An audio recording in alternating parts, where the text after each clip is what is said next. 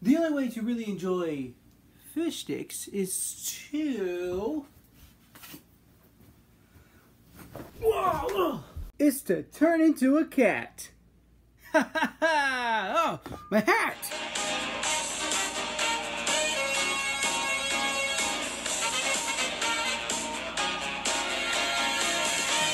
Fish tastes good. Mm. Mm, mm. Um.